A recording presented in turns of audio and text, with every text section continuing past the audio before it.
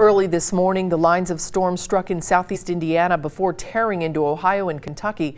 The storms leave behind a trail of damage in Ohio County. Larry Davis talked with a man who's picking up the pieces. There is storm damage throughout Switzerland and Ohio counties. You'll find down trees and power lines all along Indiana Route 56. But the worst damage we found was right here on this 91 acre farm. The storm uprooted trees, tossing them all around. It also leveled Don Curry's garage and workshop. He had antique tools inside and was restoring a 1959 Plymouth. The storm also tore off the second floor corner to Curry's home. So you didn't hear much of anything then until. No, I didn't hear a thing until that corner went off. That's what woke me up. I jumped out of bed.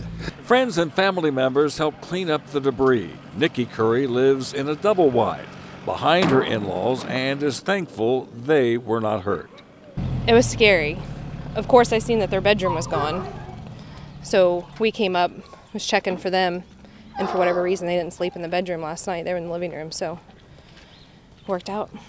There was other damage in Switzerland and Ohio counties, trees and wires down. This barn was also leveled, debris ending up in the backyard of a nearby home some 300 yards away.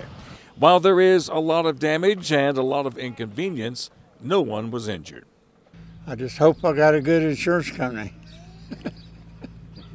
and Don Curry jokingly says he has some good firewood now.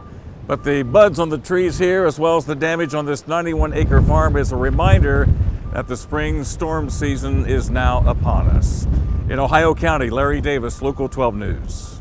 Meteorologists with the National Weather Service are expected to survey the damage in southeastern Indiana in the coming days to determine if it was indeed a tornado that struck the area.